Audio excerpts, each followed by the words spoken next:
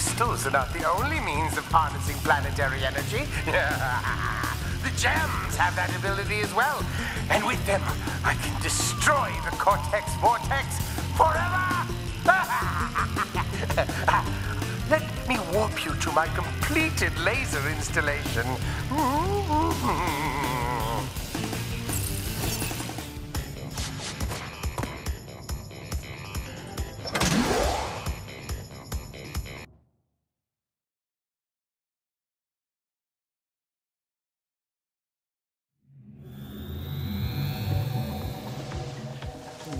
We are ready, Crash.